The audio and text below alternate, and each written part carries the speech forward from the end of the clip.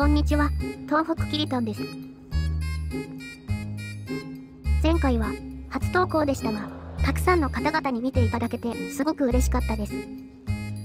自分の趣味を皆さんに見てもらえるのがとても楽しいことを実感しました。また、たくさんの広告もありがとうございます。正直、びっくりしました。さて、そんなわけで今日もお家の周りを散策中です。やはり、冬なので緑は少ないですね。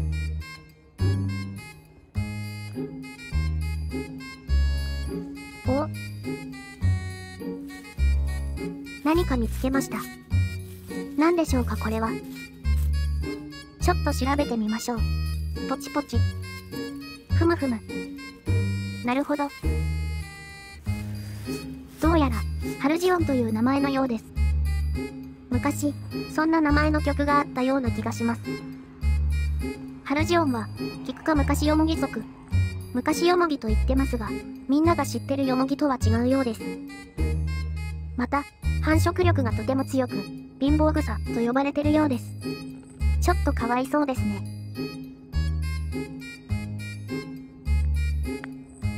ちなみに、花言葉は、水槽の愛というそうです。よくわかりません。また、菊花ということもあり、春菊のように普通に食べられるようです。それにしても、意外とたくさん生えてますね。ふむ。というわけで、今回も少しばかり積んできちゃいました。でへへへ。とりあえず茹でてみます。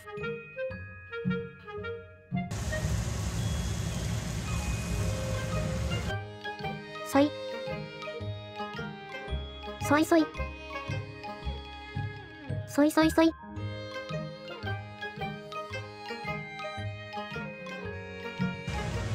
良き感じに茹で上がりました。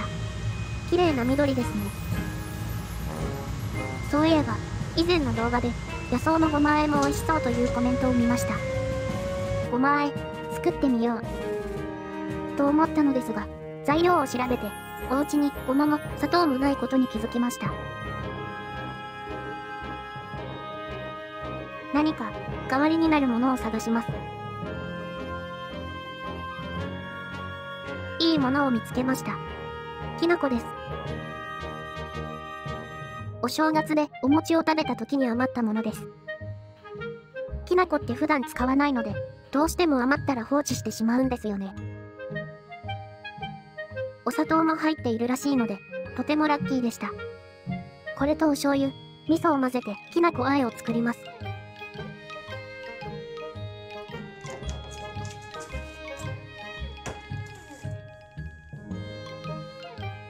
まずお醤油。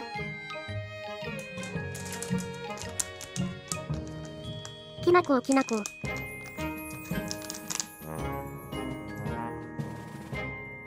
きなこ、素朴で美味しいんですよね。昔は、口の中が乾燥してパサパサになるので、そこまで好きじゃありませんでした。でも、最近は、この香ばしさがだんだん好きになってきました。調べたら、きな粉は大豆から作られているようですね。節分では大豆を食べてなかったので、ちょうど良かったです。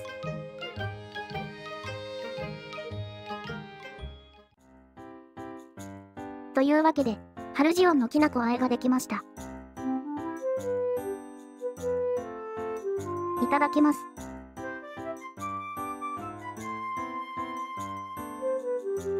ハルジオンは、やはり春菊に近く、いい香りと程よい苦味があります。美味しいです。ここに甘じょっぱさときな粉の香ばしさが合わさっていい感じです。ほうれん草、きなこあえなどで検索したら意外にたくさんヒットしたので、きなこあえは正解だったのかもしれません。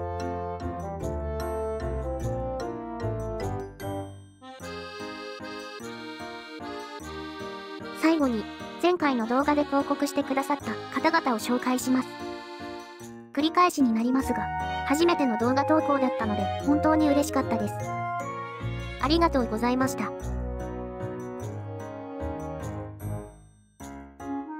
また、面白いものを見つけたら皆さんに紹介しますべ。待っててね。じゃあ、またね。